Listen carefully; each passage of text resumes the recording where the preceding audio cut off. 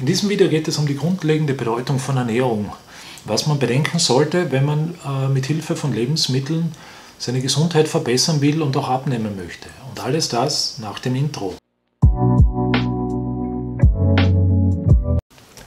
Hallo Leute, ich bin's wieder, euer Good. Es geht beim Thema gesunde Ernährung nicht so sehr darum, wer recht hat. Man kann sich als Vegetarier ernähren, man kann sich vegan ernähren, man kann sich als Mischkostler ernähren, sondern es geht beim Thema gesunde Ernährung einzig und allein darum, das beste Ergebnis zu erzielen. Und wie erzielt man dieses Ergebnis am besten? Mit den besten Mitteln, das zur Verfügung steht. Das wären dann die Lebensmittel.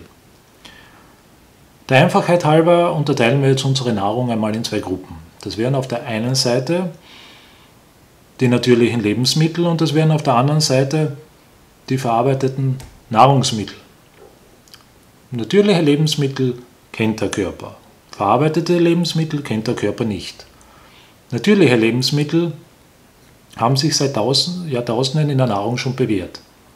Verarbeitete Lebensmittel gibt es erst seit 60, 70 Jahren in der Ernährung. Natürliche Lebensmittel enthalten Mineralstoffe, Vitalstoffe, Spurenelemente, essentielle Aminosäuren, essentielle Fettsäuren, Ballaststoffe, sekundäre Pflanzenstoffe, Pro- und Präbiotika. Verarbeitete Nahrungsmittel enthalten diese nicht oder nur im kleinsten Ausmaße. Natürliche Lebensmittel werden langsam verdaut. Somit hat der Körper genug Zeit, sie ordnungsgemäß zu verarbeiten. Verarbeitete Lebensmittel sind schon verarbeitet, also wenn sie schnell verdaut. Das führt im Körper zu Problemen, wie zum Beispiel Nahrungsmittelunverträglichkeiten oder Allergien oder auch schon Autoimmunerkrankungen. Ziel einer gesunden Ernährung muss es jetzt sein, so viel wie möglich gesunde Lebensmittel zu konsumieren und so wenig wie möglich verarbeitete Nahrungsmittel. Das klingt logisch. Ist es auch. Imperativ, du musst es essen.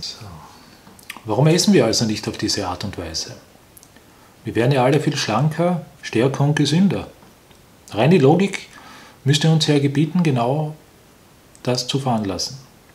Das Problem mit der Ernährung ist, dass wir aus vielen Gründen heraus essen, die wenigsten davon sind aber logisch nachvollziehbar. Essen ist etwas Emotionales. Das Hunger- und das Sättigungsgefühl wird hormonell gesteuert und ausgelöst. Es sind also auch Emotionen. Wenn du etwas isst, dann reagierst du damit auf ein Gefühl.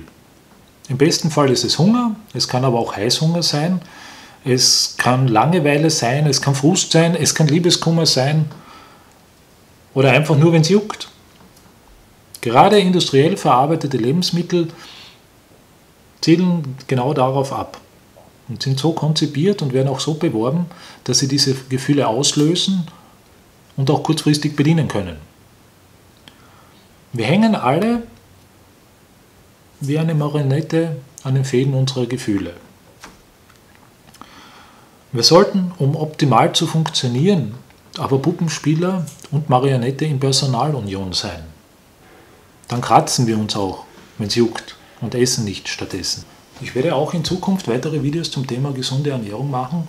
Wenn ihr Interesse daran habt, bitte abonniert meinen Kanal. Ein paar Kommentare in die Infobox wären sehr hilfreich, damit wir über dieses Thema dann eingehend diskutieren können.